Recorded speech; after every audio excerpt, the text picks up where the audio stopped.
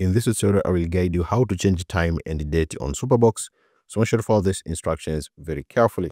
Now, the first thing you need to do, just come here to your Superbox homebox, which will look like this. Now, open up your settings, which is a gear icon found on the bottom of the home page here. Just select the gear icon and then click OK on your remote to open up your settings.